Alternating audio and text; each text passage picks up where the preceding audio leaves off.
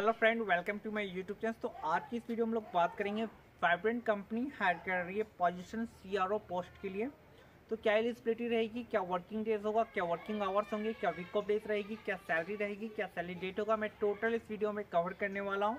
तो मेरी इस वीडियो को प्लीज़ लास्ट तक वॉच कीजिए दोस्तों, ताकि आपको ये समझ आ जाए कि किस प्रकार आप वाइब्रेंट बीपीओ में अप्लाई कर सकते हैं वर्क फ्रॉम ऑफ़िस ये फुल्ली का फुल्ली हिंदी प्रोसेस के लिए, अगर वैसे कैंडिडेट जो कि हिंदी काफ़ी अच्छी है और उन्होंने जस्ट ट्वेल्व कंप्लीट करके रखा। उनको सैलरी का कोई ज़्यादा लालच नहीं है कि मुझे दस हज़ार भी स्टार्ट अगर मिल जाए तो मैं कर लूँगा। तो बिल्कुल उनके लिए मैं रिकमेंडेड करना चाहूँगा। वाइब्रेंट कंपनी वो आके वो ज्वाइन कर सकते हैं। कंपनी का एड्रेस कंपनी का मेल आईडी जो है मैं, मैं यहाँ पर मेंशन कर दे रहा हूँ।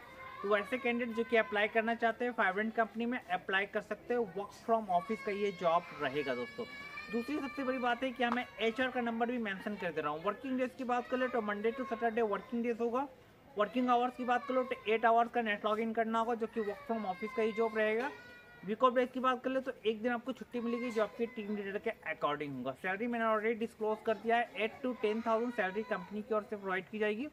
अगर आपका सिलेक्शन हो जाता है वाइब्रेंट कंपनी में, और किसी भी बंदे को आप रेफरेंस करते हैं तो एज अ रेफरेंस आप 500 से लेके 1000 तक अर्न कर सकते हैं।